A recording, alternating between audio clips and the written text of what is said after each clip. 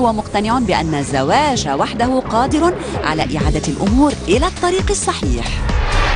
التلفزيون المصري يتراجع عن فوازير هيفا. فقد تراجع اتحاد الإذاعة والتلفزيون في مصر عن قراره بإعادة تقديم فوازير رمضان هذا العام.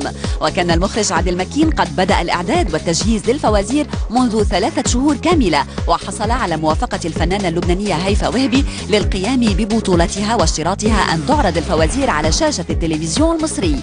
لكن المفاجأة كما يقول المخرج كانت انسحاب اتحاد الإذاعة والتلفزيون من المشروع رغم أن المسؤولين كانوا على علم بكل خطواته. ولم يكن هناك أي اعتراض فهل ستبصر الفوازير النور؟ مادونا تفشل بالتبني مجددا. محكمة ملاوي رفضت منح مغنية البوب مادونا تصريحا لتبني طفلة صغيرة من البلاد على اعتبار أنها باتت أم مطلقة تعول أطفالها بمفردها كما أنها تعيش خارج البلاد. وعبر المخرج البريطاني جاي ريتشي طليق مادونا عن تعاطفه الشديد معها معلنا أنه يساندها تماما في قرارها. ديو نانسي ووائل. ظاهرة الأغنيات المشتركة في ازدياد. اليوم يتم التحضير لديو سيجمع بين وائل كفوري ونانسي عجرم تحت إشراف الملحن سمير صفير الفكرة عرضت على الطرفين ولاقت تجاوبا كبيرا.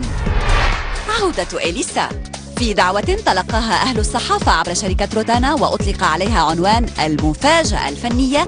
أعادت الفنانة إليسا تجديد عقدها مع الشركة بعد سلسلة مشكلات بينهما أدت إلى ما يشبه القطيعة.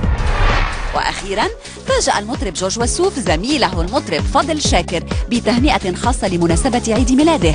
فرد شاكر التهنئة بدعوة صديقه إلى جلسة فنية حميمية شاركت بها الممثلة المصرية سمية الخشاب والصور أبلغ من الكلام.